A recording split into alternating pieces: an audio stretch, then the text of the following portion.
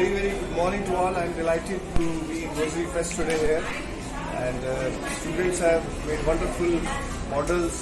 मैंने सभी मॉडल्स देखे सब स्टूडेंट्स को सुना उनके मॉडल्स को समझे कोशिश करी बहुत ही अच्छा इनिशिएटिव है डॉक्टर विशाल वारिया सर का और एक्सेलेंट मैं कहूँगा जितना भी थ्योरी में हम लोग पढ़ाते हैं सिखाते हैं उसका प्रैक्टिकल आज देखते हैं मुझे भी बहुत सारी नई चीज़ें सीखने को मिली or it is really great to be initiative by Rosary School or Rosary Fest is one of the best fest for students in Gujarat. Thank you very much.